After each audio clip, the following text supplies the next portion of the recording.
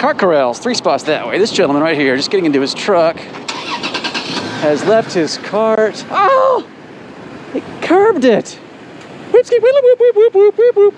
not where the cart goes, sir. How's it going.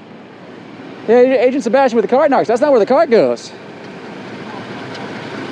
Cart narcs gave me a thumbs up. Let me go ahead and get your uh, cart there. Is this? Do you work for this company?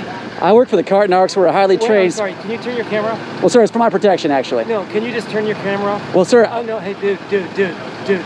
You're cool. I'm cool. I'm gonna take care of my cart, but just turn your camera off or go away. thank you for calling me cool. away. I appreciate go that. Go away, and I will take care of my cart. All right, cool. Please go away. Go away. Why are you so angry? Please go away. All right, I'm stepping away. No, turn around. Get your camera off me, dude. Well, sir, it's for my protection, though. So what if? Where are you going? I thought you said you were gonna take your cart back. Oh, you're leaving. Here, I got a bumper magnet for you, sir. Let me help you out with that. It's got a hotline number on it. That'll give you some information on like counseling, how to think about other people instead of being all lazy bones and selfish. Thank you, sir. Appreciate that.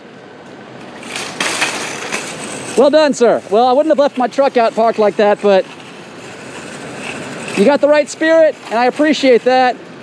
Oh, you left the you left the magnet in there. Well, I guess you don't need it because you turned the cart back. So, thank you for doing the right thing. I appreciate it. Why are you covering your face? Cameras don't forget, sir. I don't. Also, you shouldn't be covering your face while you're driving. That's not a good idea. Anyway, uh, thank you for talking to me. Don't hit the carts. Jeez. Now, if he was like a covert agent in the CIA or something, or what. Thank you very much. Appreciate that, young lady. Hi, how are you? No one had to tell you twice, did they? Because you knew what you were supposed to do. It's a limit to people's personality traits. That's a good point. This guy over here, he's not so much. Cart narcs out.